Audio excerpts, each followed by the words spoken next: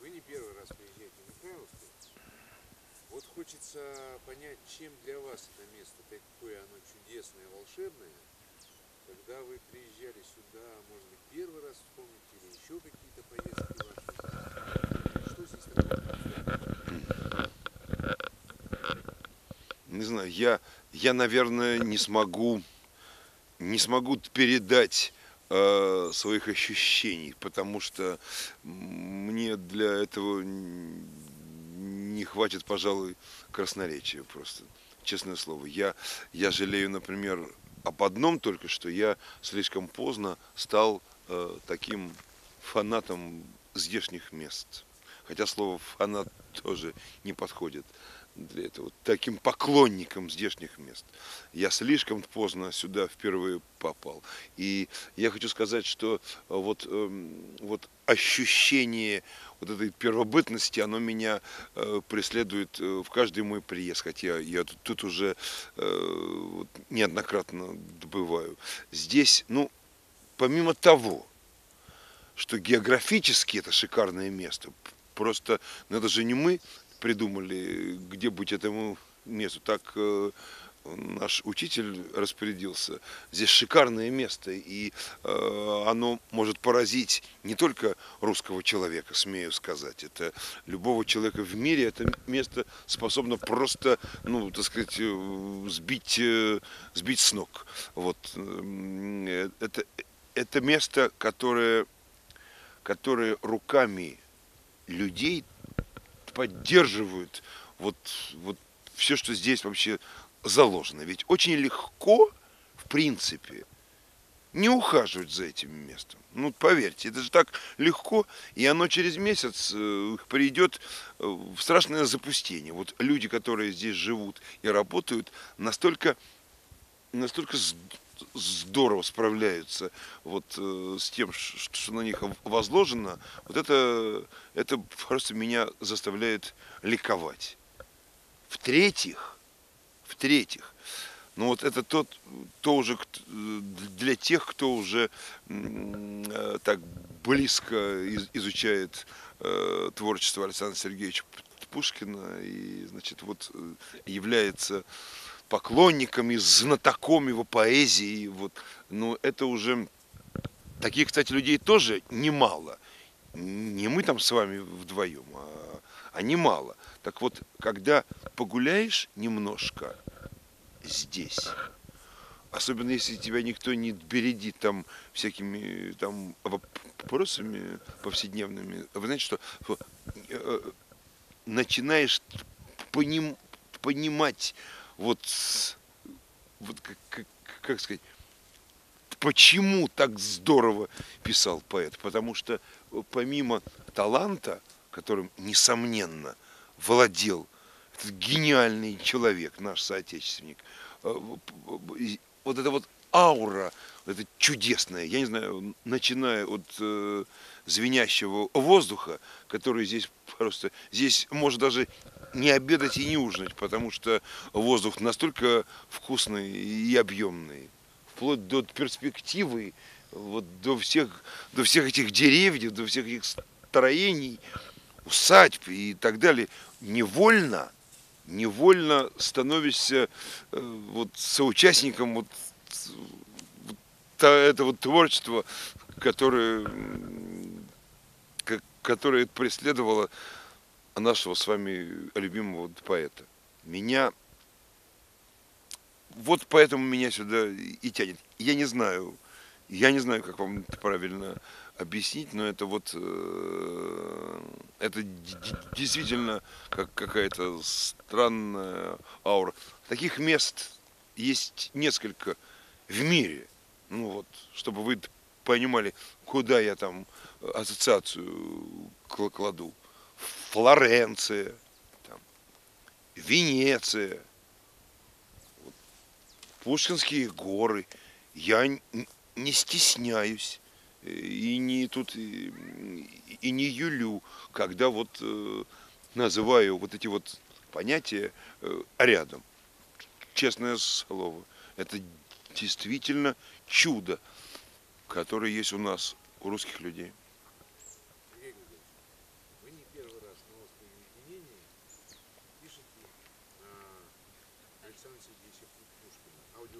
Да. Вот вы пять лет назад мне говорили, что есть в этой записи что-то такое, чего в студии невозможно добиться. Так вот, что же это такое? Может быть, вот попробуйте проанализировать для нас, чтобы было понятно.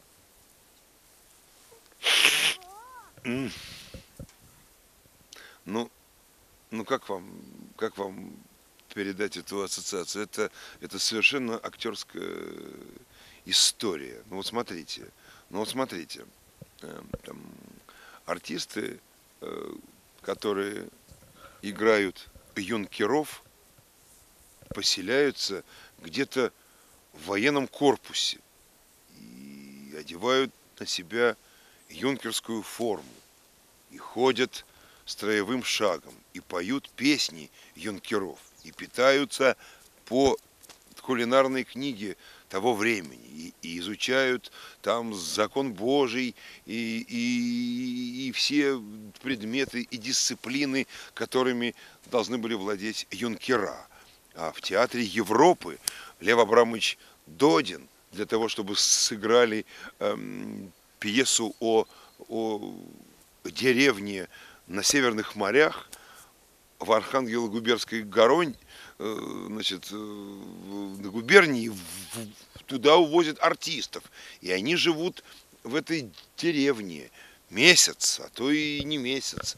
И живут там, общаются, э, значит, с людьми, изучают их нравы, характеры, их, значит, их речь и так далее. И, и- и- ну, понятно, да, чтобы что-то сделать, нужно погрузиться вот туда, вот зачем тебе это нужно? Ну вот писать на острове уединения это вообще какой-то сон. Ну это честно говоря сон. Было бы, было бы потеплее и было бы разрешение, я бы перед записью и переночевал бы там.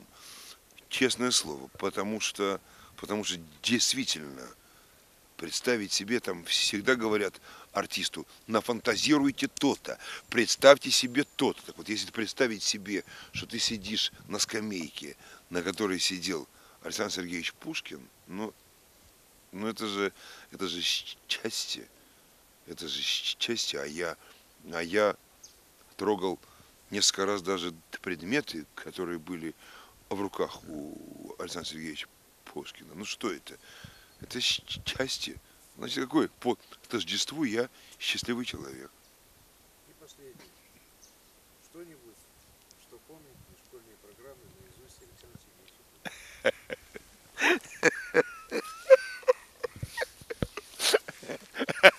Будь смеяться, но я уже это где-то озвучивал.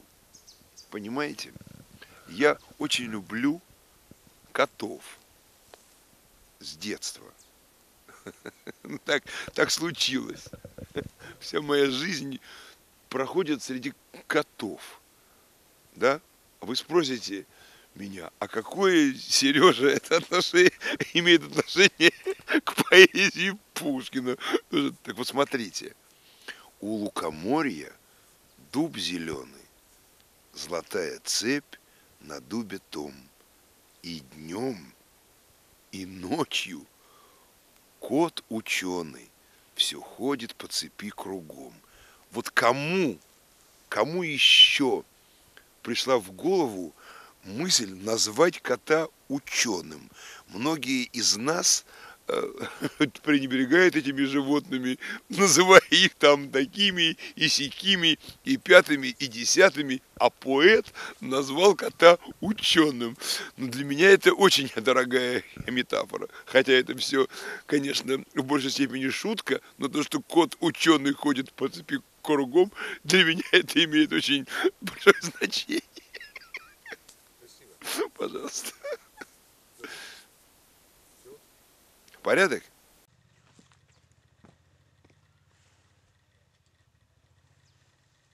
Можно?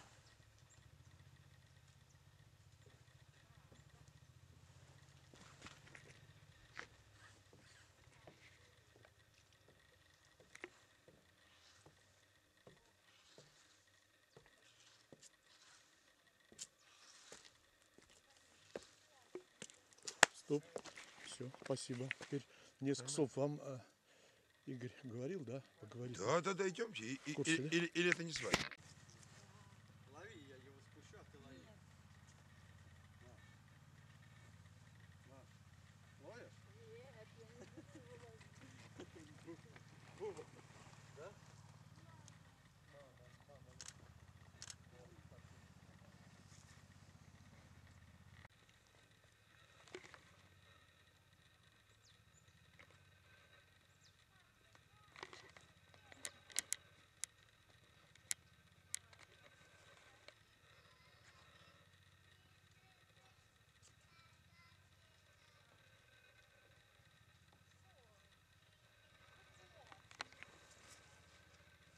Постойте так.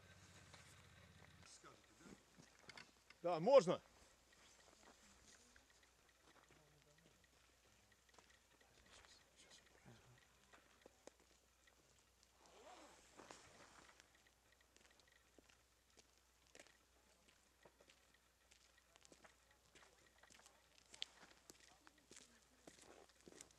Спасибо. чатами, и с кормилицей, и с черной моською. И как ей сказали, что старый смотритель умер, так она заплакала и сказала детям, сидите смирно, а я схожу на кладбище. А я было вызвался довести ее, а барыня сказала, я сама дорогу знаю, и дала мне пятак серебром. Такая добрая барыня. Мы пришли на кладбище. Голое место, ничем не огражденное, усеянное деревянными крестами, не осененными ни единым деревцем. От роду не видал я такого печального кладбища. Вот могила старого смотрителя, сказал мне мальчик, вспрыгнув на груду песку, в которую врыт был черный крест с медным образом. И барыня приходила сюда, спросил я. Приходила, отвечал Ванька. Я смотрел на нее издали. Она легла здесь и лежала долго. А там барыня пошла в село и призвала папа, дала ему денег и поехала. А мне дала пятак серебром. Славная барыня. И я дал мальчишке пятачок и не жалел уже ни о поездке, ни о семи рублях, мною истраченных.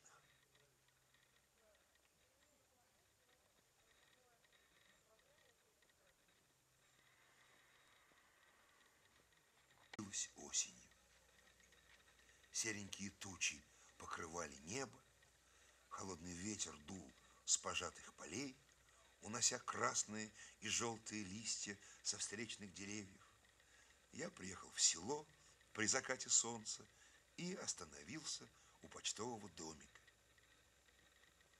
В сене, где некогда поцеловала меня бедная Дуня, вышла толстая баба вопросы мои отвечала, что старый смотритель с год как помер, что в его доме поселился пивовар, а что она жена пивоварова. Мне стало жаль моей напрасной поездки и семи рублей, и сдержанных даром. А чего же он умер? Спросил я пивоварову жену. Спился, батюшка, отвечала она. А где его похоронили? За околицей, подле покойной хозяйки его. Нельзя ли довести меня до его могилы? Почему же нельзя? Эй, Ванька, полно тебе с кошкой возиться. Проводи-ка барина на кладбище, да укажи ему смотрителеву могилу. При сих словах оборванный мальчик, рыжий кривой, выбежал ко мне и тотчас повел меня за околицу. Знал ты покойника? Спросил я его дорогой. «Ну, как не знать? Он выучил меня дудочки вырезывать. Бывало, царство ему небесное, идет из кабака, а мы-то за ним. Дедушка, дедушка, Орешков. А он нас орешками и наделяет. Все бывало с нами возится. А проезжие вспоминают ли его? Дано немало проезжих. Разве заседатель старого смотрителя оставил Дуню и подошел к нему, дрожа от гнева. «Да что тебе надобно?» — сказал он ему, стиснув зубы. «Что ты за мною всюду крадешься, как разбойник? Или хочешь меня зарезать? Пшел вон!» И сильной рукой, схватив старика за ворот, вытолкнул его на лестницу. Старик пришел к себе на квартиру. Приятель его советовал ему жаловаться, но смотритель подумал, махнул рукой и решился отступиться.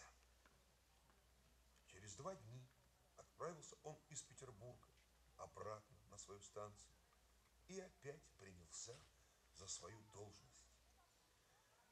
Вот уже третий год заключил он, как живу я без Дуни, и как об ней нет ни слух, ни дух. Жива ли, нет ли, Бог ее ведает. Всяко случается. Не ее первую, не ее последнюю сманил проезжий повес, а там подержал, да и бросил. Много их в Петербурге, молоденьких дур, сегодня в атласе да бархате, а завтра поглядишь, метут улицу вместе с голью кабацкой.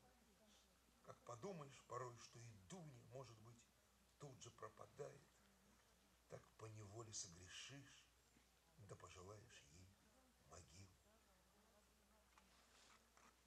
Таков был рассказ приятеля моего. И пошел. Отошед несколько шагов, он остановился, подумал и воротился, но ассигнаций уже не было. Хорошо одетый молодой человек, увидя его, подбежал к извозчику, сел поспешно и закричал «Пошел!». Смотритель за ним не погнался. Он решился отправиться домой на свою станцию, но прежде, хоть раз еще, хотел увидеть он бедную свою Дуню. Для сего дни через два.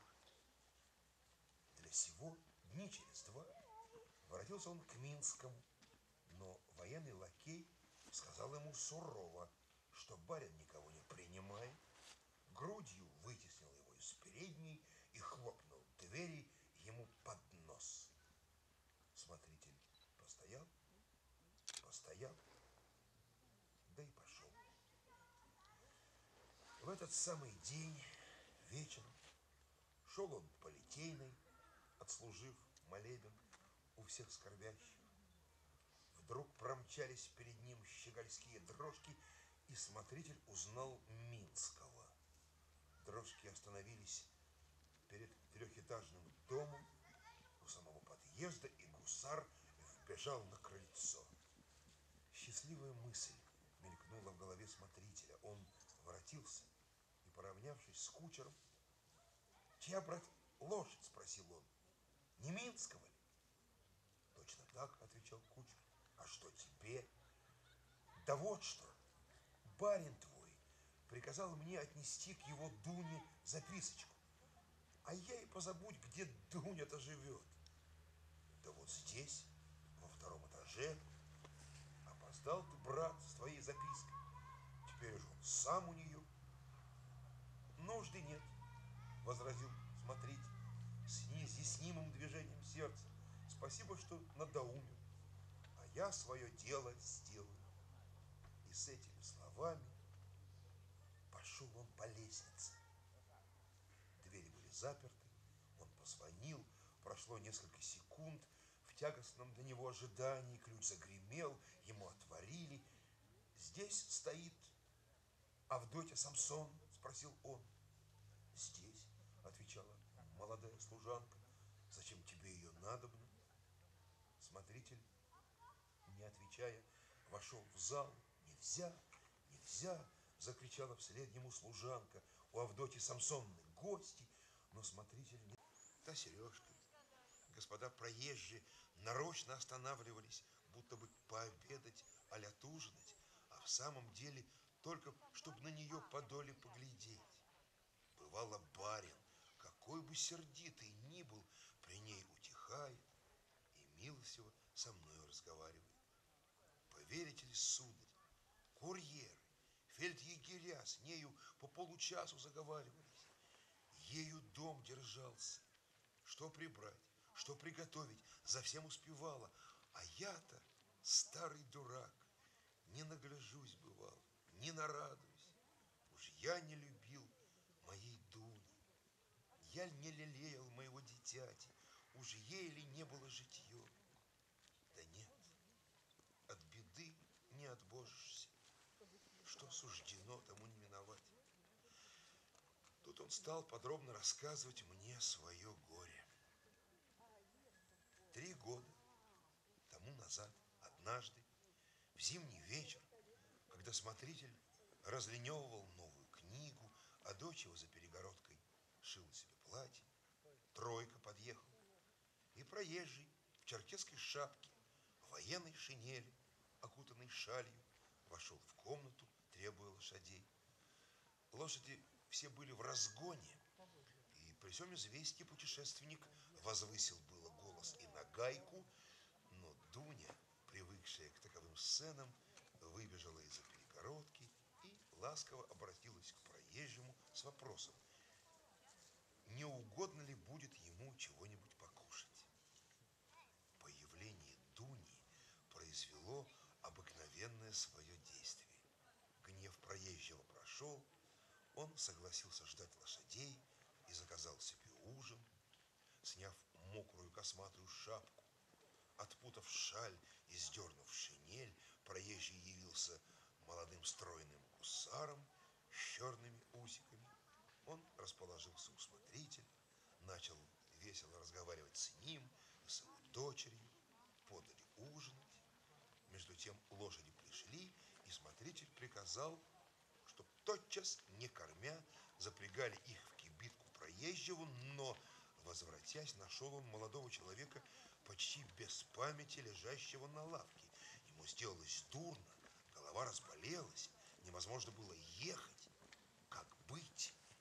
Смотритель уступил ему свою кровать, и положено было, если больному не будет легче, на другой день утром послать в город за лекарем. На другой день гусару стало хуже. Человек его поехал верхом в город за лекарем. Дуня обвязывала ему голову платком. На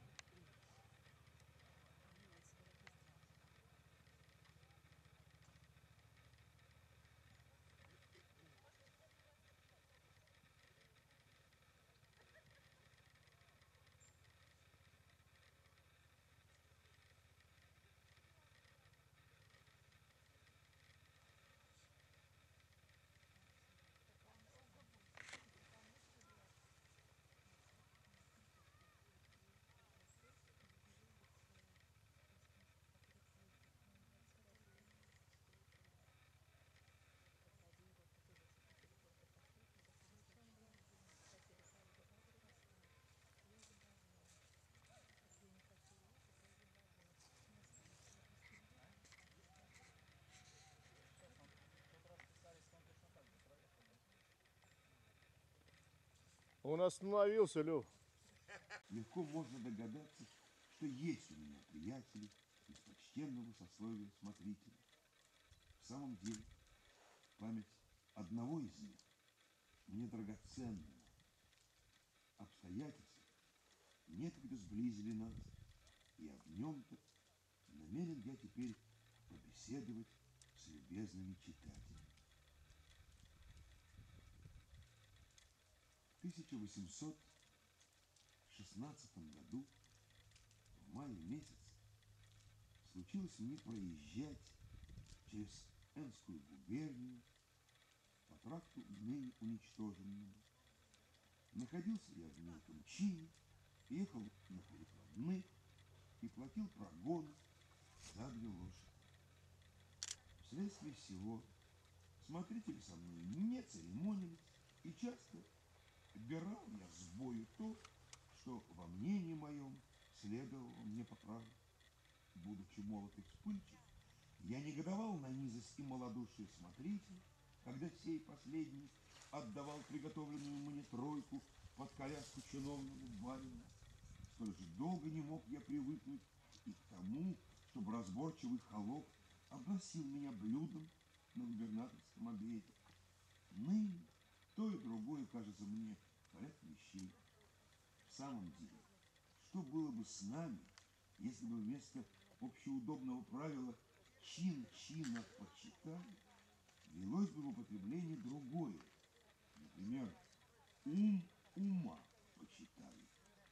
Какие возникли бы споры, и слуги с кого бы начинали кушанье подавать. Но обращаюсь к моей повести.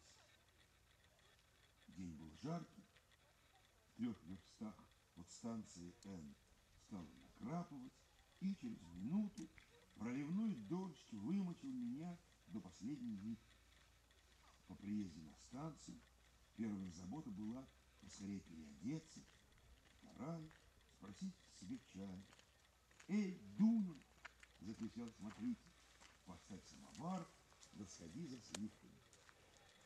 При всех словах вышла из-за перегородки девочка лет 14 и побежала в сень. Красота ее меня поразила. называет его шутливо князь Вяземский. Не настоящая ли каторга, покой ни днем, ни ночью, всю досаду, накопленную во время скучной езды, путешественник вымещает на смотрителе. Погода несносная, дорога скверная, ямщик упрямый, лошади не везут, а виноват смотритель. Входя в бедное его жилище, проезжающий смотрит на него, как на врага. Хорошо, если удастся ему скоро избавиться от непрошенного гостя. Но если не случится лошадей, Боже, какие ругательства, какие угрозы посыплются на его голову. В дождь и слякоть. Принужден он бегать по дворам.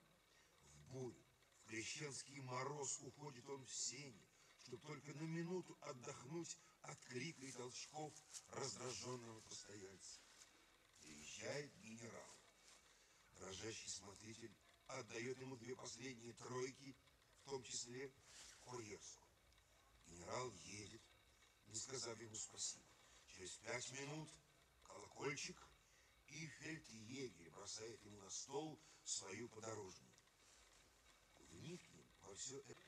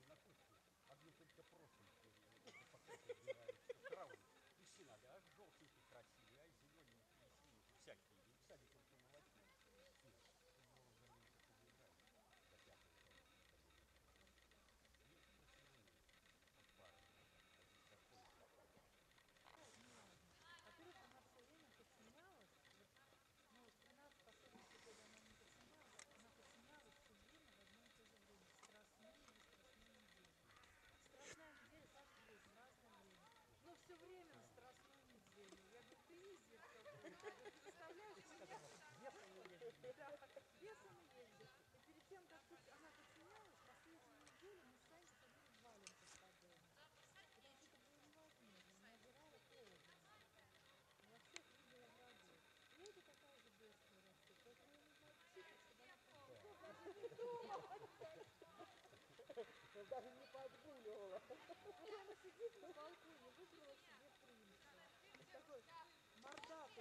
Мордатый вот такой, сидит все время высокий, лохматый, бесхвостый. Такой страшила, знаете, в прошлом году ходил, у меня тетка была, и у него вот эта шерсть вся верхняя закаталась так вот в мешок и отвалилась. И он ходил вот так вот, как пальто, которое отдельно от него было. Потом пропал. А тут появился вот так обросший, красивый.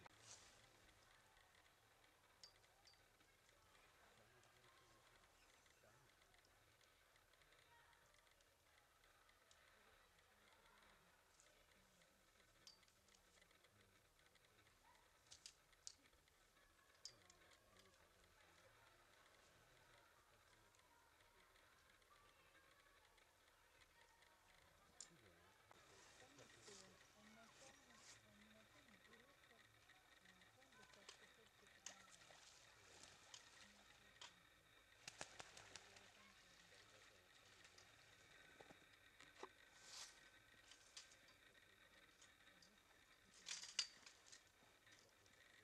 Николай Андреевич, фотографируйте, Пушкин побежал.